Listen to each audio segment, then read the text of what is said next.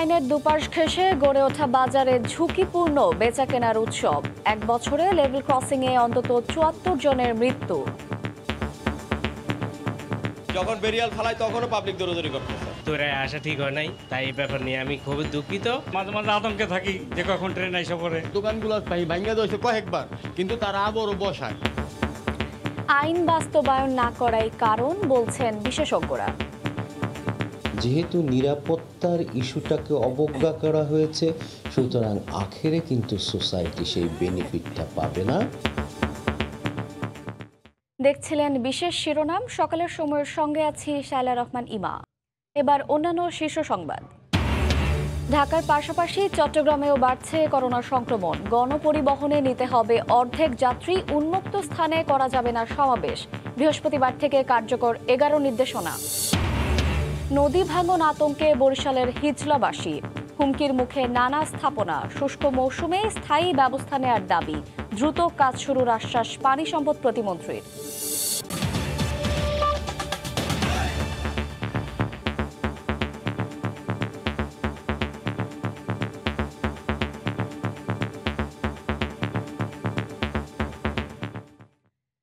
দূরযাত্রায় নির্ভরতার বাহন হিসেবে রেল পরিচিত হলেও রেল লাইনে মৃত্যু যেন নিয়মিত ঘটনা।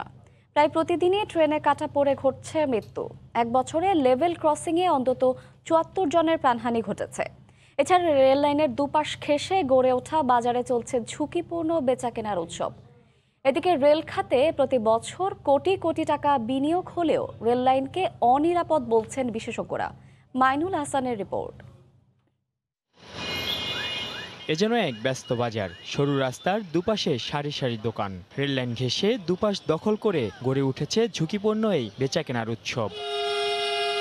ট্রেন এলেই গুটিয়ে নেওয়া হয় ছাউনি রেললাইন থেকে সরানো হয় মালামাল। ক্রেতারা রুদ্ধশ্বাসে দাঁড়িয়ে থাকেন দোকানের সামনে কিংবা পাশে। রেললাইনের দুপাশে সবসময় বিশ ফুট জায়গায় একশো চুয়াল্লিশ ধারা জারি থাকলেও কে শোনে কার কথা?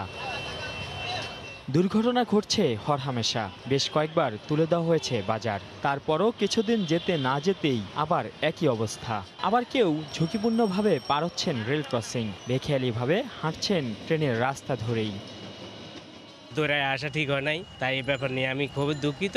যখন বেরিয়াল ফালাই তখনও পাবলিক দৌড়দৌড়ি করতেছে। মাঝে মাঝে আতঙ্কে থাকি যে কখন ট্রেন এসে পড়ে। দোকানগুলো ভাঙ্গা দিয়েছে কয়েকবার কিন্তু তারা আবারও বসায়। পরিসংখ্যান বলছে গত দশ বছরে সারা দেশে ট্রেনে কাটা পড়ে মৃত্যু হয়েছে প্রায় সাড়ে নয় হাজার মানুষের। রোড সেফটি ফাউন্ডেশনের তথ্য মতে দুই হাজার একুশ সালে শুধু লেভেল ক্রসিংয়ে তেত্রিশটি দুর্ঘটনায় চুয়াত্তর জনের মৃত্যু হয়েছে এবং রেললাইনে অসতর্ক বা কানে ইয়ারফোন দিয়ে হাঁটার সময় একশো তেইশটি দুর্ঘটনায় একশো সাতচল্লিশ জন নিহত হয়েছে। বহুদিন ধরে রেললাইনের ওপর দিয়ে মানুষ যাচ্ছে এবং অ্যাক্সিডেন্ট হয়। মানুষ অসতর্কতার জন্য এখানে বেশি করে অ্যাক্সিডেন্টগুলো হয় বা ঘটে থাকে। এদিকে রেলের উন্নয়নে প্রতি বছর কোটি কোটি টাকা বিনিয়োগ হলেও অরক্ষিত রেললাইনকে নিরাপদ করতে নেওয়া হয়নি তেমন কোনো পদক্ষেপ। আর তাই তো এই উন্নয়নকে অপরিকল্পিত বলছেন বিশেষজ্ঞরা। যেহেতু নিরাপত্তার ইস্যুটাকে অবজ্ঞা করা হয়েছে সুতরাং আখেরে কিন্তু সোসাইটি সেই বেনিফিটটা পাবে না।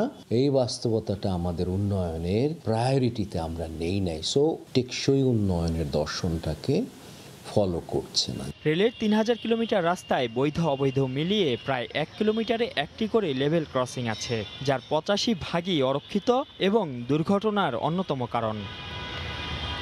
রেলের উন্নয়নে বছরে কোটি কোটি টাকা বিনিয়োগ হলেও রেল লাইন এখনও অনিরাপদ।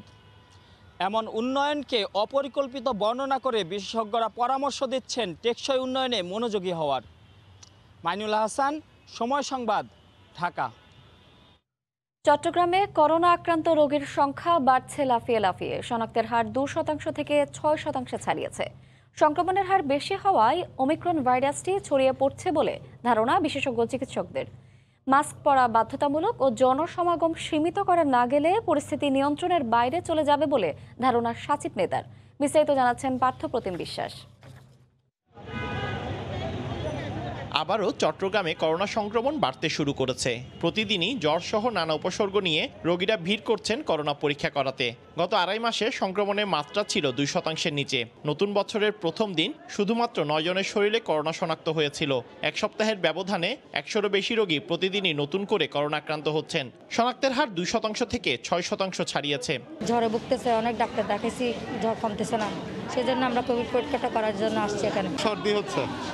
জ্বর হয় রাতের বেলা হচ্ছে আর কি। এখানে তো স্বাস্থ্যবিধি কেউ মানতেছে না সরকারের নির্দেশনা মানতেছে না।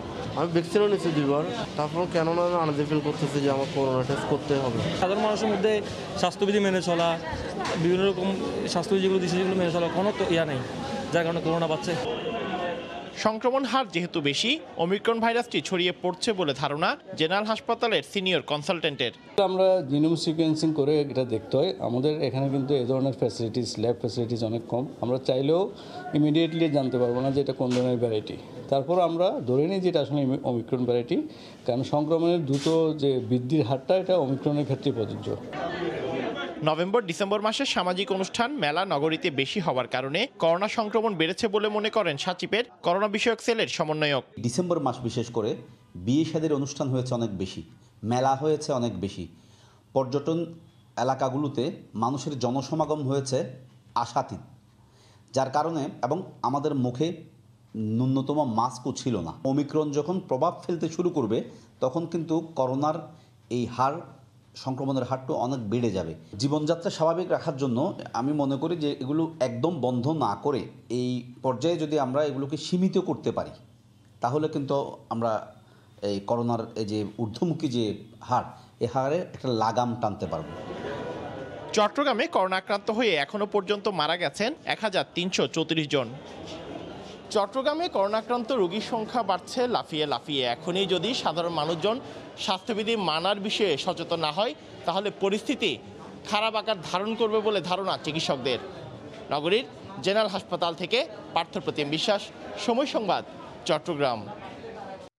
I am the storm আর এই ঝড়কে চাপা দেওয়া যায় না। এভাবেই সংবাদ সম্মেলনে সমালোচনার জবাব দিলেন নারায়ণগঞ্জ চার আসনের সংসদ সদস্য শামীম ওসমান। বললেন, নৌকার পক্ষে নামলাম। জয় নৌকার হবেই। জয়ের পর আইবির সব প্রশ্নের উত্তর দেয়া হবে। মাঝে মাঝে একটু বিস্মিত হই, একটু অবাক হই যে আমি কেন সাবজেক্ট ম্যাটার হব? গরিবের বউ যেন সবার ভাবি হয় না? আমার অবস্থা হয়েছে এই। এও বলে আমি ওনার, উনিও বলে আমি ওনার। দুজন দুজনকে দিয়ে দিতে চায়, কি একটা পজিশনে আমি পড়েছি, আমি জানি না। এই কয়দিন চুপ ছিলাম একটা কারণে, যেটা আমার কাজ না।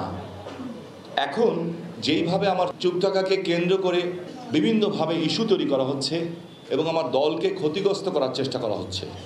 কেউ দলের উল্টা দিকে থেকে ক্ষতি করছে, কেউ দলের সাথে হেঁটে ক্ষতি করছে। সেই কারণে আমি ভাবলাম যে আমার কথা বলাটা উচিত। নারায়ণগঞ্জ নৌকার ঘাঁটি, নারায়ণগঞ্জ শেখ হাসিনার ঘাঁটি, নারায়ণগঞ্জ বঙ্গবন্ধুর ঘাঁটি, নারায়ণগঞ্জ মুক্তিযুদ্ধের সপক্ষের ঘাঁটি। এখানে অন্য খেলা খেলার চেষ্টা করবেন না। কে প্রাপ্তি? হু কেয়ার কলা গাছ না আম গাছ? আমাদের দেখার বিষয় না। আমাদের দেখার বিষয় একটাই, এইটা আমার স্বাধীনতার নৌকা। এটা আমার জাতির পিতার নৌকা। এটা আমার শেখ হাসিনার নৌকা। এটা আমার বঙ্গবন্ধু পরিবারের নৌকা। এটা আমাদের রক্ত দিয়ে গড়া নৌকা। সেভাবে নামতে পারিনি। তবে আজকের থেকে, ইনশাল্লাহ সেভাবে নামলাম। নারায়ণগঞ্জে বিএনপি জামাতের ওই ক্ষমতা আছে যে নৌকা ডুবাই দেওয়ার ক্ষমতা রাখে। এটা আমি বিশ্বাস করি। ওই ক্ষমতা আছে। হাতি বড় যে সাইজ বড় হইতে পারে। হাতি সাইজ বড় হইলে আমরা হাতি কাঁধে নিয়ে দৌড় দিব ইনশাল্লাহ। কিন্তু নৌকার উপরে উঠতে দেবো না। এটা আপনারা কল্পনা রাখেন। আমরা যখন জাগবো, অনেকে তখন ঘুমাবেন। যখন বীর মুক্তিযোদ্ধার সন্তানরা জেগে উঠে, তখন স্বাধীনতা বিরোধী শক্তি রাস্তায় থাকতে সাহস পায় না। Fate whispers to the warrior, You cannot withstand the storm. And the warrior whispers back, I, I am the storm. আমি নিজেই ঝড় সো এই ঝড়দেরকে চাপ দেওয়ার ক্ষমতা কেউ নাই আর কারোর চাপে মাথা নত হওয়ার না শুষ্ক মৌসুমে ভাঙন রোধে ব্যবস্থা না নিলে নদীগর্ভে বিলীনের আশঙ্কা বরিশালের হিজলা উপজেলা সদর স্থানীয়দের অভিযোগ, বর্ষা মৌসুমে নেওয়া পদক্ষেপ কোনো কাজে না আসায় পঁচিশ বছর ধরে ভাঙনের শিকার জনপদটি। পানি সম্পদ প্রতিমন্ত্রী বলছেন, আগামী একনেক সভায় প্রকল্প পাশ হলে কাজ শুরু হবে হিজলা উপজেলা সহ আশপাশের এলাকায়। সুজয় দাসের ক্যামেরায় অপূর্ব অপুর রিপোর্ট। বর্ষা চলে যাওয়ায় স্পষ্ট হচ্ছে ভাঙনের ক্ষত। মেঘনার শাখা নদীর তাণ্ডব চলছে দুই যুগ ধরে। স্থানীয়রা বলছেন বিদ্যালয় উপাসনালয় আর জীবিকায় প্রভাব ফেলে এবার অন্তত তিনটি গ্রাম গিলে খেয়েছে মেঘনা। জমা জমিন ছিল অনেক গৃহস্থী হইতো অন্ত কিছুই নেই। পাঁচ ছয়টা গ্রাম গেছে গামগো বাড়িঘর ভেঙে গেছে জায়গা জমি রান্না নাই। এই জন্য ঢাকা কাজ করে খায়। অনেক পোলাপানে এই স্কুল পড়ালেখা বুঝছেন? এই স্কুল ভাঙে গেলে অনেক ক্ষতি পোলাপানের বুঝছেন? গ্রামবাসীরা জানান উপজেলা সদর থেকে মাত্র পঞ্চাশ গজের কাছেই নদীর হানা। সরকারি বেসরকারি কার্যালয় সহ পুরো সদরই এখন অস্তিত্ব সংকটে। প্রতি বছর বর্ষা মৌসুমে জরুরি ভাঙন রোধের কাজ হয় তবে লোক দেখানো নয়। দীর্ঘমেয়াদী পদক্ষেপ চান ভাঙনের শিকারগ্রস্তরা। এখন করলে যে কাজটা হতো আর যে বর্ষার সময় যে কাজটা করে তা সামান্য মানে ঠেক হয়। সরকারের টাকা কাজে আসার জন্য এখনই এই শুষ্ক মৌসুমেই উপযুক্ত সময় বলে আমরা মনে করছি। পানি উন্নয়ন বোর্ড স্বীকার করছে সাত কিলোমিটারেরও বেশি এলাকা জুড়ে ভাঙায় হুমকির মুখে হিজলা উপজেলা সদর। পানি সম্পদ প্রতিমন্ত্রী জানিয়েছেন আগামী একনেক সভায় প্রকল্প উপস্থাপন করা হবে। ভাঙ্গন কবলিত স্থান সময় আমরা প্রায় পাঁচশো পঞ্চাশ কোটি টাকা ব্যয়ে একটি ডিপিপি তৈরি করেছি ডিপিপিটি বর্তমানে প্ল্যানিং কমিশনে আছে। তিন চার সপ্তাহের ভিতরে এক থেকে এটা উঠে আসবে। এটা অলরেডি সব কিছু প্রিপেয়ার্ড শুধু বাউশিয়াই নয় হিজলার হরিনাথপুর সহ অনেক স্থানেও বর্ষায় একই অবস্থা হয়। সেসব জায়গাতেও এই শুষ্ক মৌসুমি কাজ করার আশ্বাস কর্তৃপক্ষের। অপূর্ব অপু সময় সংবাদ বরিশাল। ঢাকা বিশ্ববিদ্যালয়ের ভেতরের রাস্তায় ভারী যান চলাচলের প্রতিবাদে জগন্নাথ হলের সামনে রাস্তায় ট্রাক ও অন্যান্য ভারী যান আটকে অবরোধ করছেন, করেছেন বিশ্ববিদ্যালয়ের কয়েকটি হলের শিক্ষার্থীরা। গতরাত বারোটা থেকে জগন্নাথ হলের সামনে শহীদ মিনার রাস্তায় এই অবরোধ কর্মসূচি পালন করেন তারা। শিক্ষার্থীরা জানান, গভীর রাতেও ভারী যানের শব্দে রাস্তার নিকটবর্তী হলের শিক্ষার্থীদের ঘুম ও পড়াশোনায় ব্যাঘাত ঘটে। এ বিষয়ে হল প্রশাসন বিশ্ববিদ্যালয় প্রক্টর ও নিকটস্থ থানায় বারবার অভিযোগ করেও কোনো সমাধান না পাওয়ায় এই কর্মসূচি পালন করেন তারা। তবে রাত সাড়ে তিনটার দিকে অবরোধ প্রত্যাহার করে আটকে রাখা গাড়ি ছেড়ে দেন শিক্ষার্থীরা।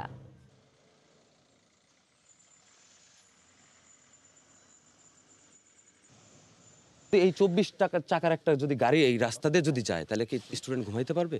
তারা কি পড়ালেখা করতে পারবে? এই যে গাড়িগুলো যাচ্ছে শব্দ করে যাচ্ছে তো আমাদেরও তো একটা প্রাইভেসি আছে ভাই। সহ্যের সীমা আমরা অতিক্রম করেই আসলে রাস্তায় নেমেছি এবং আমরা এই আন্দোলনটা আসলে শান্তিপূর্ণভাবেই করছি।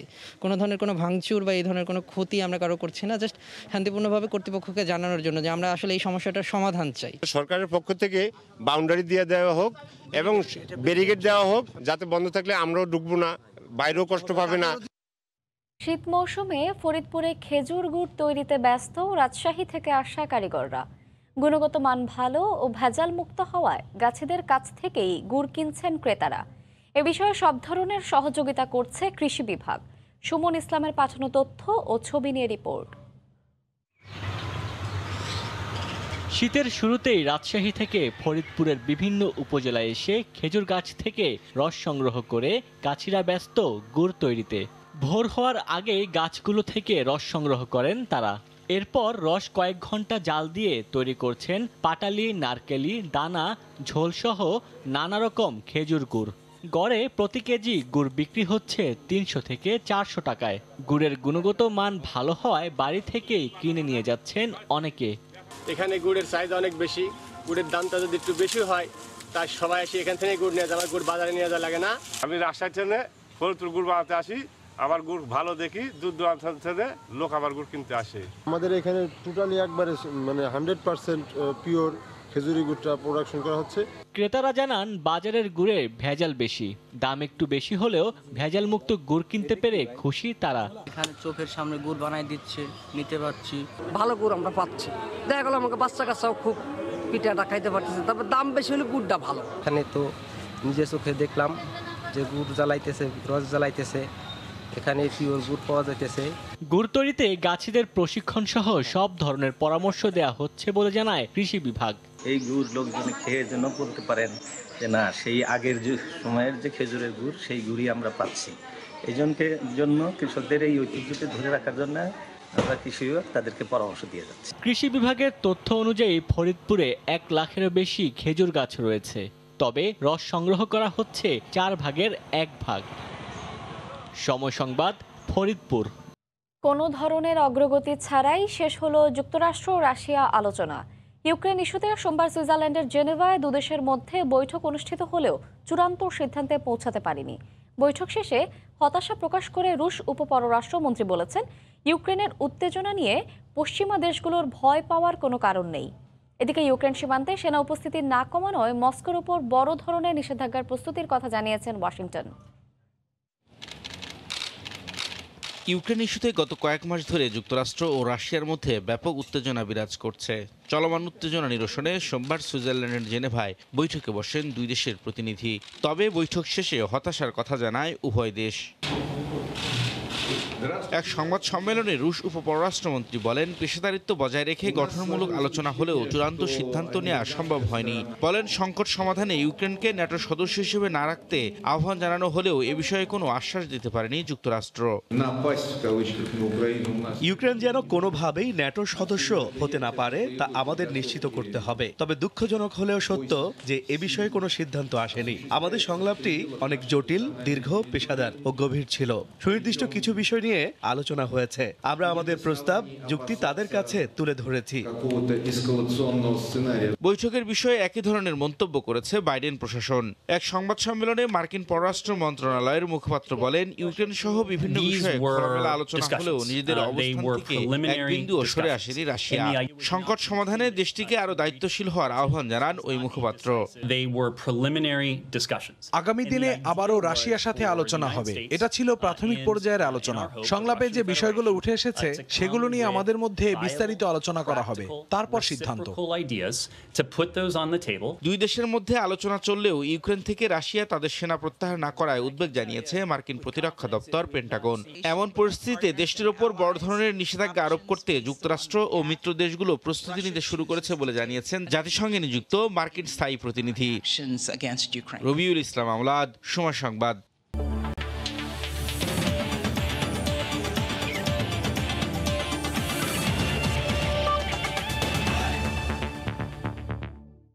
ফুটবলের খবর। আগামী তেসরা ফেব্রুয়ারি থেকে শুরু হবে বাংলাদেশ প্রিমিয়ার লিগ ফুটবল, নিশ্চিত করেছেন পেশাদার লিগ কমিটির চেয়ারম্যান সালাম মুর্শিদি। তবে এখনও চূড়ান্ত হয়নি ঢাকার বাইরের ভেনুগুলো এদিকে এবার বয়সভিত্তিক দল গঠন করে বাংলাদেশ চ্যাম্পিয়নশিপ লিগে ক্লাবগুলোকে অংশ নিতে হবে বলে জানান সালাম মুর্শেদি। স্বাধীনতা কাপ ও ফেডারেশন কাপের পর এবার দরজায় করা নাড়ছে বাংলাদেশ প্রিমিয়ার লিগ ফুটবল আসরকে সামনে রেখে বাফুফেতে লিগ কমিটির সভা অনুষ্ঠিত হয়েছে যেখানে লিগে অংশ নেওয়া ক্লাবগুলোর কর্তাদের সঙ্গে বৈঠক করেন পেশাদার লিগ কমিটির চেয়ারম্যান সালাম মুর্শেদি। কমিটি যেটা আছে তারা ফিফা উইন্ডোতে চব্বিশ ও সাতাশ জানুয়ারি বালিতে ইন্দোনেশিয়ার বিপক্ষে দুটি প্রীতি ম্যাচ খেলবে বাংলাদেশ জাতীয় ফুটবল দল। এরপরই সবকিছু ঠিক থাকলে আগামী তিন ফেব্রুয়ারি মাঠে গড়াবে প্রিমিয়ার লিগ ফুটবল আমাদের জাতীয় দলের যে দুটো ম্যাচ আমরা খেলবে এই উইন্ডোতে সেই চূড়ান্ত হওয়ার কারণে রানিং মরশুমে খেলা তেসরা ফেব্রুয়ারিতে থেকে শুরু হবে। সংস্কারের কারণে বঙ্গবন্ধু জাতীয় স্টেডিয়ামে লিগের কোনো ম্যাচ আয়োজন করা সম্ভব নয়। সেই সাথে বেশিরভাগ ক্লাবের আপত্তি থাকায় কমলাপুর স্টেডিয়ামেও আসরের কোনো খেলা হবে না। আপাতত ঢাকার বাইরে ছয়টি ভেন্যুতে খেলা হওয়ার কথা থাকলেও নানা জটিলতায় তা এখনও চূড়ান্ত হয়নি। এর মধ্যে বসুন্ধরা কিংস তাদের মাঠে খেলার বিষয়ে চিঠি দিয়েছে বাফুফেকে। বসুন্ধরা কিংস, তাদের নিজেদের যে স্টেডিয়াম, সেটা চূড়া শেষ হয়ে যাবে এই মাসের শেষের দিকে। আমরা, সেটাও আমরা দেখব যদি সেটা খেলার মতন অবস্থান থাকে, তাহলে সেটাকেও আমরা ইনক্লুড করলে আমাদের কিন্তু তখন ভেনু বাড়বে। সেই জন্য আমরা ভেনুর ব্যাপারে যত সময় পর্যন্ত পিস এবং অন্যান্যগুলো না করি, সেই ব্যাপারে পরবর্তী মিটিং নেওয়া পর্যন্ত আমরা ভেনুগুলো এখন চূড়ান্ত বলতে পারছি না। এদিকে বাংলাদেশ চ্যাম্পিয়নশিপ লিগে এবার বারোটি দল অংশ নেবে যেখানে পনেরো জানুয়ারি থেকে পনেরো ফেব্রুয়ারি পর্যন্ত হবে দল বদল তবে এবার বয়সভিত্তিক দল গঠন করে বিসিএল এ ক্লাবগুলোকে অংশ নিতে হবে বলে জানান Salam Murshedi. Elite football academy team আমরা আগেও আপনাদেরকে বলেছিলাম যেহেতু আমাদের প্লেয়াররা সব এখানে ক্যাম্পিং করছে তারা যদি নাই খেলে তাহলে তো আসলে তাদের পারফরমেন্সটাই করা যাবে না এবং অনেক ক্লাবে হয়তো তারা খেলবে। তাদের খেলা শুরু হবে টোয়েন্টি ফেব্রুয়ারি থেকে ডবল লিগ বেসিস এবং আমাদের গ্রাউন্ড হলো আপনাদের বীরশ্রেষ্ঠ সিপাহী মোস্তফা কামাল আমাদের কমলাপুর স্টেডিয়ামটা হবে তার আগে এখানে খেলবে। প্রিমিয়ার লিগে অংশগ্রহণকারী প্রতিটি দলকে পনেরো লাখ টাকা করে পার্টিসিপেশন মানি দেওয়া হবে। দীপু সময় সংবাদ ঢাকা। সকালের সময়ে শীর্ষ সংবাদ জানিয়ে দিচ্ছি আরেকবার।